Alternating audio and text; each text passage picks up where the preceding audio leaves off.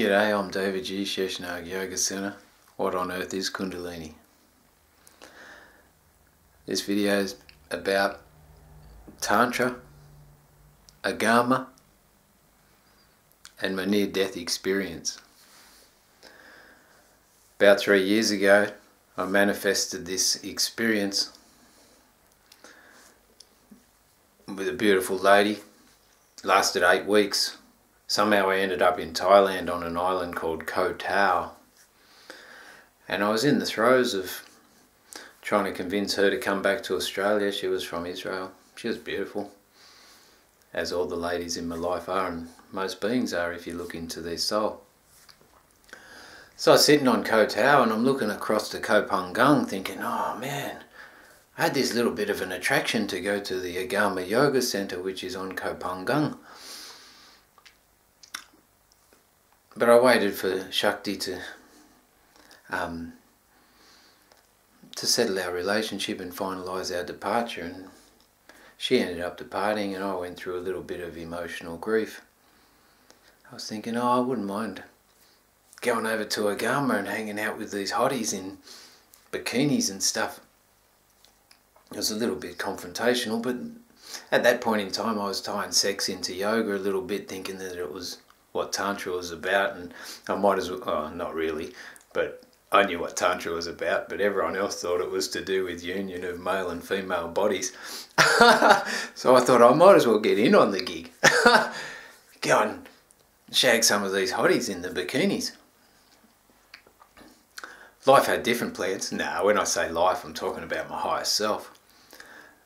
So first step was I think thought I would go out and socialise a little bit.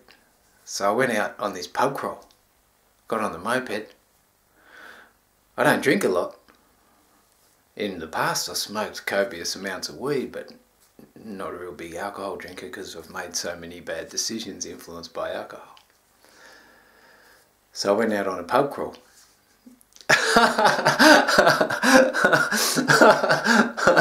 it was okay. I'm not the most social person though, I'm getting a bit better.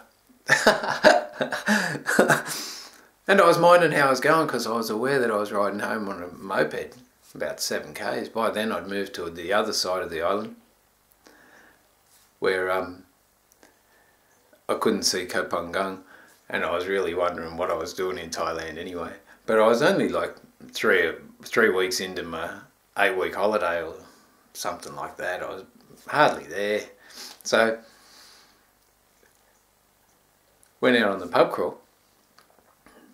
Suddenly I met this guy who's like the owner of the chains of restaurants or the manager of the big chain.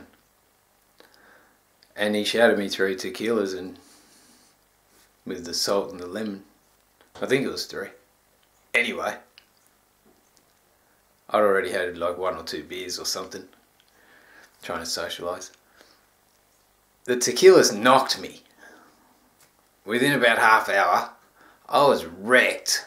I was so pissed. At, I'm actually disgraced. It's not a laughing matter. This is like more to do with a video in praise of the divine coordination of such an experience. But I got a bit munted, or extremely munted. Then I went back and jumped on my bike. I rode about 3k's up the main road, and the last thing I remember was turning left onto the road that went across the island to where I was staying, and it was like a hectic road, mate. It was like windy, solid concrete, downhills, big uphills. It was massive. Next thing, I woke up the next morning, or I was woken up by the staff checking if I was okay and there's videos to do with how I was injured and I had about 18 different impacts and didn't wear a helmet home and I was lucky to wake up. I'm so disgraced at my own behaviour because I have children and obligations and a purpose in life that I prefer to fulfill rather than clock out getting pissed on a moped in Thailand. So I was lucky that I survived. Anyway, waking up the next morning, all my ambitions of going to Agama Yoga my higher self put the kibosh on those. Um, because I had to go to the medical centre, get sewn up. I couldn't swim or anything. I could hardly walk because I was wounded and things like that. So I ended up just feeling sorry for myself, coming back early from my holiday, about four weeks early. It was crazy. But in hindsight, with all this Agama stuff coming out, with abuse, it's ongoing. You can see it everywhere. And I'm not really 100% convinced to do with the true, true tantrics.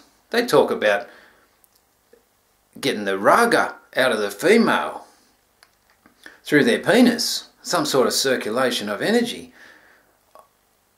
I'm sketchy on the whole process because I, I experience God and awaken Kundalini in my everyday life.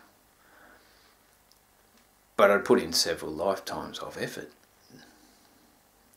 to unify myself with the divine in previous lives, you know, so it was a piece of piss for me. So I'm very blessed and fortunate. A lot of people want to feel good or look into spirituality and then get sucked up in vulnerability when they get exploited by someone in power. I'm making this video just to say thanks to my higher self for almost killing myself. So I didn't go to Agama and get caught up in the sexuality of spirituality and take it out of context. Instead, I just came home and focused more on building a temple dedicated to Sanskrit, the Tantric philosophy, the philosophy of Shiva and Shakti, written in the Tantra Shastras, designed to awaken the Kundalini according to your elemental constitution and psychological and emotional predispositions. There you go. Praise the Lord or my higher self for letting me almost die and not go to Agama Yoga. Share the world. Om Namah Shivaya.